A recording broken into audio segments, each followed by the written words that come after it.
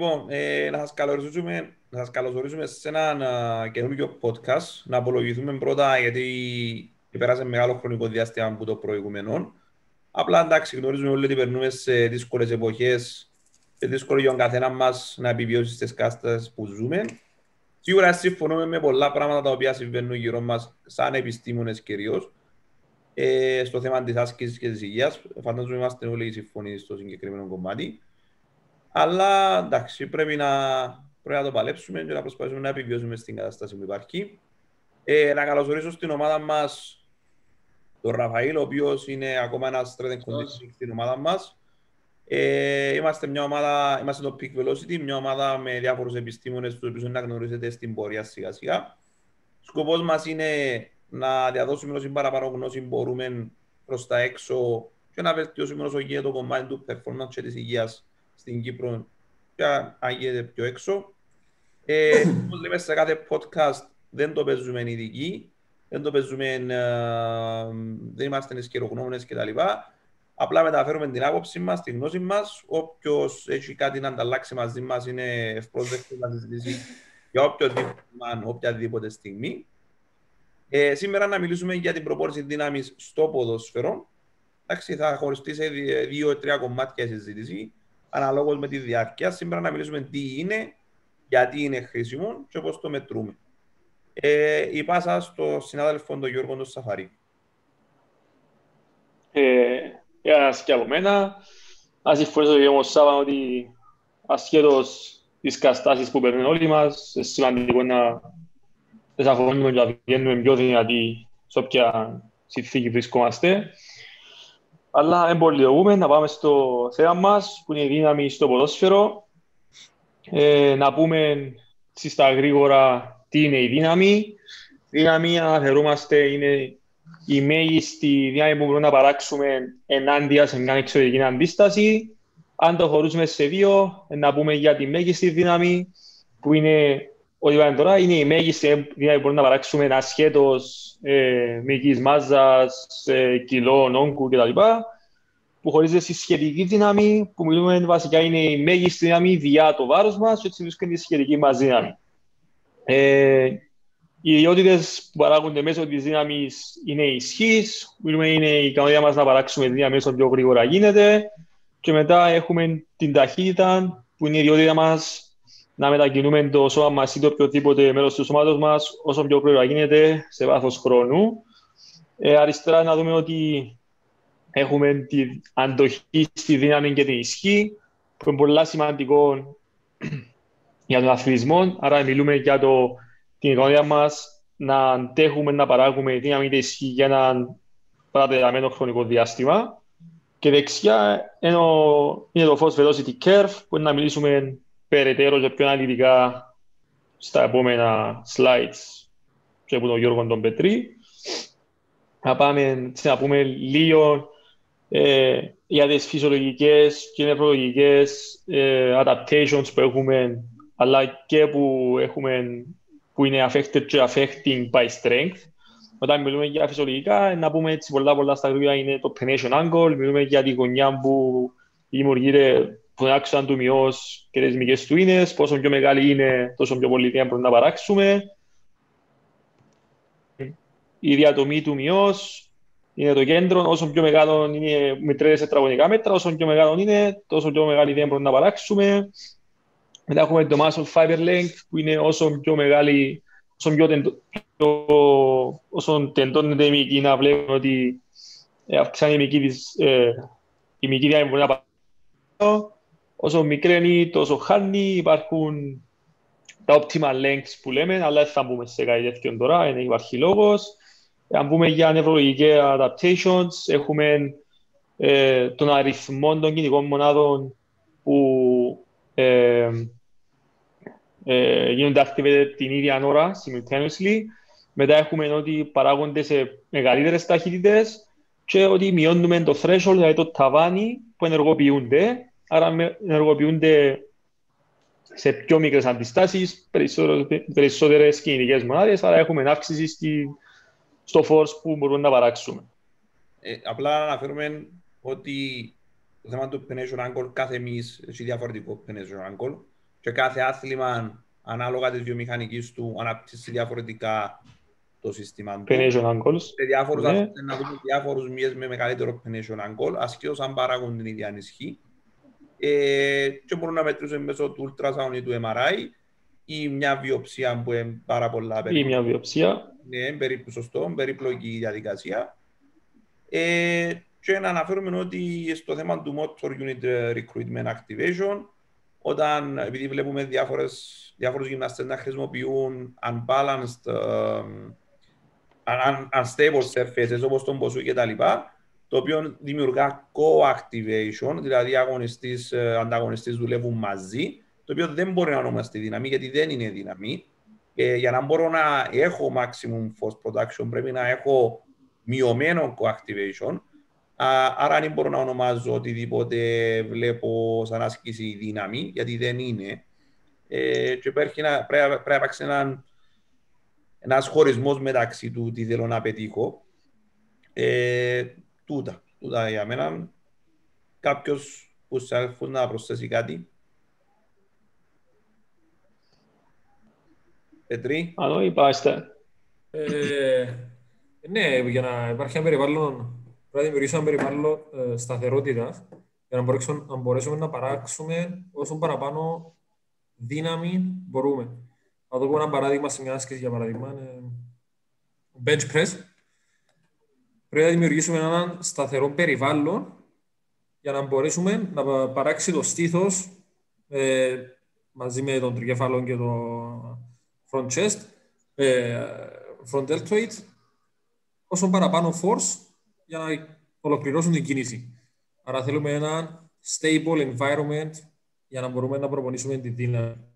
Ένα παράδειγμα, υπάρχουν και άλλες μεταβλητές που παίζουν, παίζουν ρόλο, αλλά θέλουμε stability όσο πιο μπορούμε, πολλά μπορούμε. Right. Ε, ένα ερώτημα που... Stability, προ- stable environment. Είπα το εγώ λάθος. Ναι, ναι, ναι, ναι. Ε, έχοντας μια ερώτηση που προκύπτει είναι «ΟΚ, τούτα που μας είπατε τώρα τι σημαίνουν, γιατί και πώς είναι σημαντικά».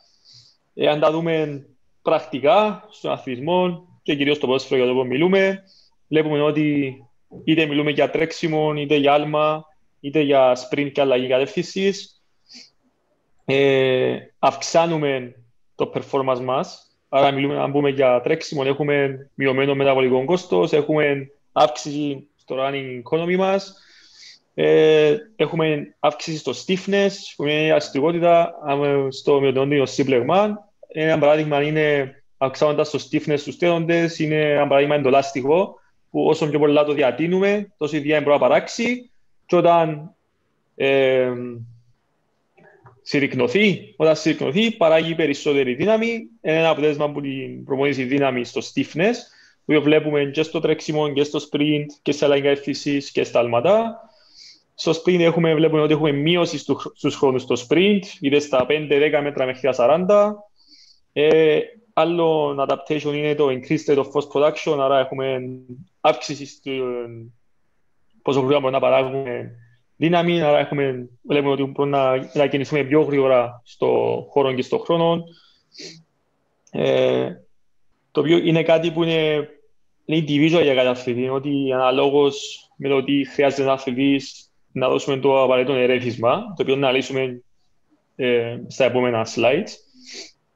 Ε, δύο πολλά άλλες προτάσεις που προκύπτουν είναι το ε, ότι το strength και οι, οι, οι επόμενες ιδιότητες του είναι ότι αυξάνουν την ικανότητα του αθλητή να παράγει περισσότερο έργο στον ίδιο χρόνο, στο ίδιο χρονικό διάστημα, ε, πίσω please, και ότι αυξάνει την ικανότητα να παράγει την ίδια, το ίδιο ποσοστό δύναμης σε πιο λίγο χρόνο. Άρα και τα δύο είναι πολλά καλά adaptations, το οποίο αναλόγως μιλούμε, το ένα είναι παρα- μιλούμε για παραπάνω το force production, στο δεύτερο μιλούμε παραπάνω ε, για το χρόνο ή την αντοχή.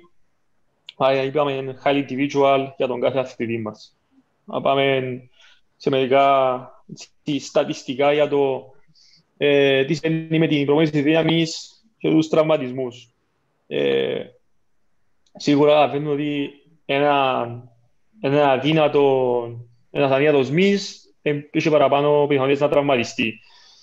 Ε, στο ποδόσφαιρο έχουμε ένα αρκετά ψηλά ποσοστά τραυματισμό, είναι ένα άθλημα το οποίο έχει συγκρούσεις, ε, πλέον υπάρχουν υψηλές απαιτήσεις στο ποδόσφαιρο, υψηλές εντάσεις. Άρα αυξάνεται το φορτίο που λαμβάνουν οι αθλητές μας.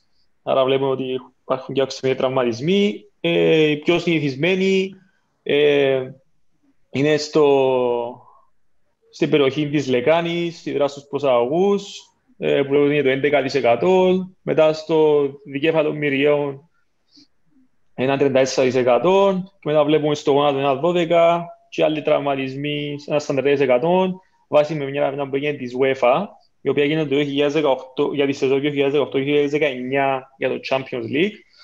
Ε, λέμε ότι 30% ήταν μικροί τραυματισμοί, 21% ήταν ε, τραυματισμοί στους συνδέσμους, 10 ήταν απλά μόλοπες αιματώματα και 36 ήταν οτιδήποτε άλλο.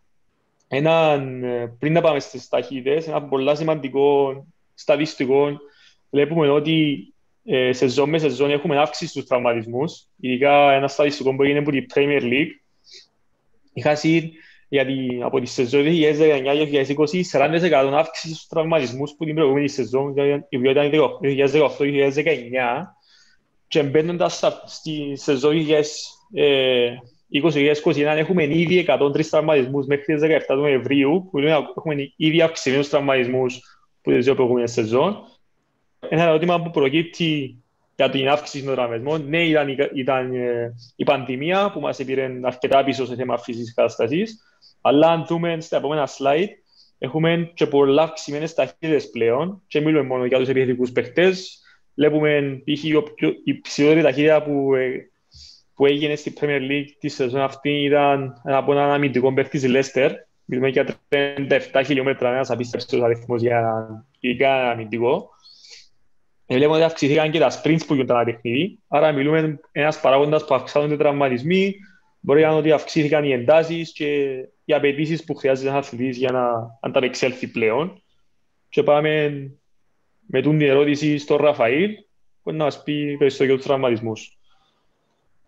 Ε, γεια σας και από μένα. Ε, όντως, φαίνεται ότι... Κάμε, επειδή και εσύ πρώτη φορά μπαίνεις τώρα μαζί μας, δεν μας λέει ένα δύο πράγματα για σένα. Ε, γεια σας και από μένα, είμαι και εγώ γυμναστής φυσικής κατάστασης. Ε, σπούδασα Sport and Exercise Science στην Αγγλία και το Master μου ήταν στο Strength Conditioning γιατί τέλειωσα φέτος. Ε, ήρθα τώρα Κύπρο και δημιουργήσαμε την ομάδα με καλύφουμε διάφορα θέματα περί αθλητισμού. Ε, τούτα για μένα. Ε, να πάμε έτσι λίγο πίσω στο θέμα μας και εκείνο που είπε ο Σαφαρής. Ε, όντως βλέπουμε ότι όσο αυξάνονται οι υποχρεώσεις των ομάδων και όσο πιο πολλά παιχνίδια έχουν μέσα σε ένα συγκεκριμένο χρονικό διάστημα, βλέπουμε ότι ε, αυξάνονται και οι τραυματισμοί. Άρα, ειδικά την περίοδο, ε, να δουλεύουμε στην πρόληψη των τραυματισμών είναι πάρα πολύ σημαντικό. Ε, θεωρώ ότι μέσα από τις έρευνες πλέον φαίνεται ξεκάθαρα ότι η προπόνηση της δύναμης έχει πάρα πολλά ωφέλη σε ό,τι έχει να κάνει με την πρόληψη. Ε, βλέπουμε ότι ε, με την προπόνηση δύναμης σε κάποιους τραυματισμούς μπορεί να μειωθεί και μέχρι ας πούμε 60% το, το ρίσκο του τραυματισμού ε, φαίνεται ότι οι αθλητές που είναι πιο δυνατοί ε, τραυματίζονται πιο δύσκολα και γενικά η δύναμη είναι μόνο για να δυναμώσουμε τους μυς μας. Ε, μπορεί να μας βοηθήσει και να έχουμε πιο δυνατούς στένοντες, πιο δυνατούς συνδέσμους, ακόμα και πιο δυνατά κόκκαλα. Άρα ε, είναι ένα πολύ σημαντικό εργαλείο για τον κάθε γυμναστή και θεωρώ ότι δεν πρέπει να βλέπουμε τη δύναμη σαν κάτι που είναι αρνητικό για τους αθλητές μας ή επικίνδυνο, όπως κάποιοι λαλούν και πρέπει να προσπαθούμε να βρούμε τους τρόπους έτσι ώστε να καταφέρουμε να χρησιμοποιήσουμε τη δύναμη για να έχουμε το καλύτερο δυνατό αποτέλεσμα στη μείωση των τραυματισμών. Ε, εντάξει, τώρα φυσικά, άμα μιλούμε για τραυματισμούς και για injury prevention ε, είναι μόνο η δύναμη που πρέπει να λάβουμε υπόψη. Ε, όταν σχεδιάζουμε ας πούμε, ένα πρόγραμμα, το πρώτο πράγμα που πρέπει να καταλάβουμε είναι με ποιους τραυματισμούς έχουμε να ασχοληθούμε. Ε, και τούτο έχει να κάνει με το πόσο συχνά βλέπουμε έναν τραυματισμό και το πόσο σοβαρός είναι ένας τραυματισμός. Τι, τι είναι να μου κοστίσει στον αθλητή μου, τι είναι να κοστίσει στην ομάδα. Όπως είπε και πριν ο Σαφαρής, οι πιο συχνοί τραυματισμοί στο ποδόσφαιρο έχουν να κάνουν με το γόνατο, όπω είναι η χιαστία, που είναι ένας πολύ σοβαρός τραυματισμός. Ε, μπορεί να έχουν να κάνουν με θλάσεις στο δικέφαλο, μπορεί να έχουν να κάνουν με προσαγωγούς ή τη λεκάνη, με τον αστράγαλο ή και με τον αχίλιο τένοντα. Να κάνουμε μου να σε διακόψω ένα λεπτό στο που είπες ότι πρέπει να έχουμε data, data για, το, για τις προηγούμενες χρονιές, προηγούμενους μήνες κτλ. κτλ. Ε, πραγματικά κάνω challenge, δεν θα σου πω δεύτερη κατηγορία, όλες τις ομάδες της πρώτης κατηγορίας να σου φέρουν δεδομένα της προηγούμενης χρονιάς που να σου λένε ανά 100 ώρες, ανά 1000 ώρες ε, αγωνιστικής δράσης έχω τόσα ποσοστά που τον κάθε τραυματισμό. Είναι ζήτημα να θα σου φέρουν 10-15% των ομάδων της πρώτης κατηγορίας. Άμα εσύ ο ίδιος δεν έχεις δεδομένα τι συνέβη και στην ομάδα σου, πώς μπορείς να έρθεις να κάνεις implement οποιοδήποτε injury prevention protocol. Όταν, όταν αποχωρεί το πρέπει να καταλάβουν οι ομάδες της Κύπρου ότι τα δεδομένα δεν ανήκουν στο γυμναστή και στον προπονητή, ανήκουν στην ομάδα. Η ίδια η ομάδα πρέπει να κάνει monitor το προσωπικό της και να κρατά τα δεδομένα της. Έρχεται ένα προσωπικό, φεύγει άλλο προσωπικό, δεν υπάρχουν. Δεν φτάνει πάει σε γυμναστή σε μια ομάδα και δεν έχεις έχεις μηδαμινά δεδομένα για να μπορείς να δουλέψεις. Καμιά ομάδα δεν Θέμα τούτο, διότι οι αποφάσεις δεν πρέπει να παίρνονται με το τι νομίζω ότι γίνεται. Πρέπει να παίρνονται με βάση το δεδομένο, αλλά εντάξει. Ε, είναι κάτι που πρέπει να βελτιωθεί και ελπίζουμε ότι σιγά σιγά να ξεκινήσει να γίνεται το πράγμα. Ε, και anyway, είδαμε τον που ότι αφού καταλήξω με ποιους τραυματισμούς θέλω να ασχοληθώ και που είναι να, κάνω, που είναι να δώσω έφαση μέσα στη σεζόν ή, ή πριν τη σεζόν, ε, πρέπει μετά να πω να δω και τους λόγους που έχω τους τραυματισμούς και τους μηχανισμούς που οδηγούν τον αθλητή να τραυματιστεί. Ε, οι λόγοι ένα μέτρη και ατέλειωτοι. Μπορεί να τραυματιστεί ο αθλητής μου που το οτιδήποτε. Μπορεί να ε, παίζει ρόλο ο ύπνος του, η διατροφή του, ε, το γενικό workload της προπόνησης. Ε, μπορεί να έχει και θέματα ας πούμε, βιομηχανικής με την κίνηση του, ασυμμετρίες, έλλειψη δύναμης, είναι πάρα πολλοί λόγοι. Ε, και επίσης, σημαντικό, όπως είπα, να δούμε και τους μηχανισμούς, δηλαδή να καταλάβουμε πότε γίνεται κάποιος τραυματισμός. Ας πούμε, ε, ξέρουμε για τα hamstring, ας πούμε, για τους δικεφάλους, ότι συνήθως βλέπουμε να γίνεται η θλάση την ώρα που τρέχουμε στις ψηλές ταχύτητες. Άρα, είναι ένα στοιχείο για να καταλάβουμε πώς πρέπει να δουλέψουμε το prevention μας. Άρα, ξέρω ότι γίνεται σε ψηλή ταχύτητα και την ώρα που έχω, ας πούμε, ε, το, την έκταση στο γόνατο. Ε, άρα, ναι, με βάση το στοιχείο, σκατή. Θέλω να σου πω ότι αρκετές φορές η, το καλύτερο prevention είναι η προπόνηση δύναμης και η προπόνηση στις εντάσεις που γίνονται τραυματισμοί. Ναι. Δηλαδή, πολλές φορές που είδαμε τραυματισμούς να γίνονται σε υψηλές ταχύτητες, σε maximum velocity sprinting, τούτες οι εντάσεις πρέπει να προπονηθούν. Πρέπει οι ποδοσφαιριστές, οι αθλητές, οι όποιοι μπασκετμπολίστες, οτιδήποτε αθλητές παθαίνουν τραυματικούς τραυματισμούς σε ψηλές εντάσεις, πρέπει να προπονηθούν κάτω από τούτες τις εντάσεις. Ναι, πολλά σωστό. Και όντως, ας πούμε, το sprint ε, είναι ίσως ο, ο πιο συχνός λόγος που βλέπουμε τους τραυματισμούς του δικεφάλους, αλλά είναι και το πιο καλό prevention για τους τραυματισμούς των δικεφάλων, αν γίνονται συχνά. Άρα και μέσα από την προπόνηση, αν δεν έχω τον αθλητή μου ε, σε κάποιες μέρες να φτάνει τις ταχύτητες και περιμένω τη μέρα του αγώνα να τις φτάσει, ε, ε, να έχουμε πρόβλημα όταν πρέπει να το κάνουμε το πράγμα. Ε, με βάση τούν τα στοιχεία, πρέπει σιγά σιγά να ξεκινήσουμε να χτίζουμε τη, το injury prevention πλάνο μας. Ε, και τι να πρέπει να συμπεριλάβουμε νουλον το ιστορικό του αθλητή σε ό,τι έχει να κάνει με τραυματισμούς, ε, σε ό,τι έχει να κάνει με θέματα που μπορεί να του προκαλούν προβλήματα στην κίνηση του και σε θέματα δύναμης. Είναι κάποια πράγματα που μπορούμε να τα δούμε εύκολα. Και σιγά σιγά, αφού σχεδιάσω το πρόγραμμα μου, κάθε φορά πρέπει να βλέπω αν όντως δουλεύει, τι κάνω λάθος, τι κάνω σωστά και πώς να το προσαρμόσω στα, στα δεδομένα που αλλάζουν συνέχεια. Ε, αν μπορείς πίνεις στο επόμενο slide. Ε, σε ένα πρόγραμμα πρόληψης ε, σίγουρα συμπεριλαμβάνεται μόνο η δύναμη. Απλά εντάξει, σήμερα το, η έμφαση μας στη δύναμη. Ε, όπως βλέπετε, μπορούμε να έχουμε σε ένα πρόγραμμα όλα τα, τα qualities της δύναμης. Ε, επειδή το ένα εξυπηρετά το άλλο. Για παράδειγμα, δεν μπορώ να πάω και να ξεκινήσω να σηκώνω βάρη με, με όσα πιο πολλά κιλά μπορώ πριν να ξέρω ότι μπορώ να σηκώσω βάρη με πιο λίγο φορτίο, με σωστή τεχνική και με έναν τρόπο που μπορεί να το δεχτεί σωστά ο σώμα μου. Ή μπορώ να ξεκινήσω να παράγω δύναμη σε πάρα πολλά ψηλές ταχύτητες χωρίς να ξέρω ότι πιο χαμηλές ταχύτητες. Ε, μια αλυσίδα και μπορούμε να έχουμε ας πούμε, και να με την αλυσίδα. Ε, αλλά εντάξει, δεν σημαίνει ότι πάντα να ξεκινώ που το strength endurance ε, και να ακολουθώ τα στάδια. Μπορεί να έχω έναν αθλητή που ήδη είναι δουλεμένος σε αυτά τα πράγματα και για παράδειγμα να το ξεκινήσω που, που rate of force development, ας πούμε, κάτι πιο έντονο, αν όντως είναι δουλεμένος. Κατάτε και τα, τα περίοδο νήσι.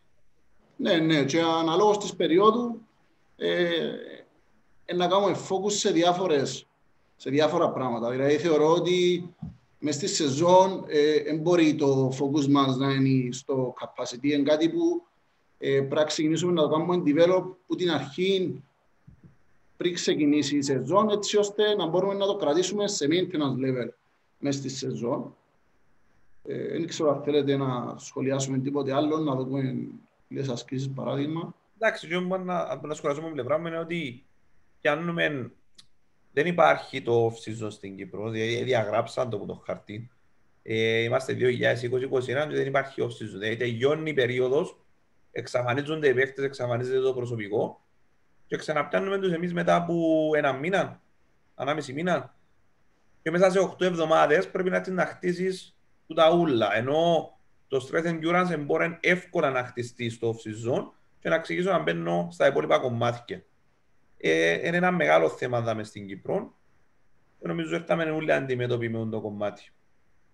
Πολλές φορές, πολλές φορές το θέμα είναι ότι τα προπονητικά επιτελεία δεν με ρινούσι για να δώσουν ε, προπονητικά προγράμματα για τον, μεταβα... την μεταβατική περίοδο και αφήνουν τους αθλητές για να πάνε διακοπές, χαλαρώστε κτλ. Και να ακολουθούν καν τα βασικά που μπορούν να γλιτώσουν πάρα πολύ χρόνο μετά. Θα να, να, απλά να αναφέρω αυτό που είπες ότι υπάρχει και λίγο έλλειψη γνώσης πάνω στο κομμάτι η άποψή μου. Δηλαδή νομίζω 8 εβδομάδες off-season λίγο ε, Λέει υπερβολικό για την Κύπρο, είναι πολυτέλεια για μας 8 εβδομάδες πλέον στην Κύπρο. Όχι 8 εβδομάδες off-season, 8 εβδομάδες είναι το pre-season. Όταν μιλούμε για off-season, ναι. πριν, το pre-season, μιλούμε όμως πάλι ότι είναι πολυτέλεια για 8 εβδομάδες, είτε για, το, για pre-season ή για 2-3 εβδομάδες το off-season στην Κύπρο. Εντάξει. Ε, εντάξει, έχουμε και χώρες που δεν έχουν διάλειμμα, δηλαδή έχουν 4 εβδομάδες που ξεκινήσει η σεζόν αλλά το θέμα που λέει ο Σάββας είναι ότι ε, έρχονται από μια απραξία ε, μέχρι και 10 εβδομάδες. Άρα, σαν να πιάνουμε τους που το μηδέν. Άρα, είναι Εσύ μιλάς, μιλάς σε χώρες που λες έχουν 4 εβδομάδες να ετοιμαστούν, αλλά μιλάς mm. για χώρες οι οποίες έχουν established monitor tools, ε, ενούλα υπό ξέρω ότι είναι η σεζόν μου, έχω τα βάγιο μου, ξαναμετρώ τα, μπαίνω απευθείας στο επόμενο κομμάτι. Δεν χρειάζεται να κάτσω να κάνω πυρηνική επιστήμη. Ε, όταν δουλεύεις χωρίς monitor tools όπως είναι στην Κύπρο, είναι πάρα πολύ δύσκολο να κάνεις implement οποιοδήποτε πρωτόκολλο ή οποιαδήποτε φιλοσοφία να έχεις. Ναι, και, ναι, είναι αρκετά δύσκολο και στο σχεδιασμό του, του πρωτοκόλλου. Αν δεν έχεις τον που είπαμε, καθόλου δεδομένα και καθόλου οδηγίες με το τι έγινε πριν και πού βρίσκονται οι αθλητές, δεν έχεις το testing data σου, ας πούμε, ε, είσαι μόνος σου. Ε, ξέρω, θέλω να πούμε κάτι άλλο για το injury prevention ή να πάμε παρακάτω. Ε, νομίζω κάλυψε μας αρκετά στο κομμάτι. Ε, εντάξει, είναι σημαντικό να δούμε και το πώς μπορεί να μας υποφελέσει στο performance η, η δύναμη, στην απόδοση μας. Ε, και πάλι έχουμε κάποια θέματα που πρέπει να δούμε ας πούμε, για το performance. Είναι συνήθως πώς να διαχειριστούμε την κούραση που την προπόνηση δύναμης μαζί με την προπόνηση του ποδοσφαίρου. Ε, και γι' αυτό πάλι σημαντικό το profiling να ξέρουμε να κάνουμε συγκεκριμένα πράγματα και να μην χρειάζεται να κάνουμε διάφορα πράγματα και πάρα πολλά που στο τέλος θα μας ωφελέσουν. Ε, να μας μιλήσει και λίγο ο Πετρή για το πώς μπορούμε να δουλέψουμε με το Force Velocity Care και να έχουμε πιο συγκεκριμένες ε, κατευθύνσεις στο πώς να προπονηθούμε.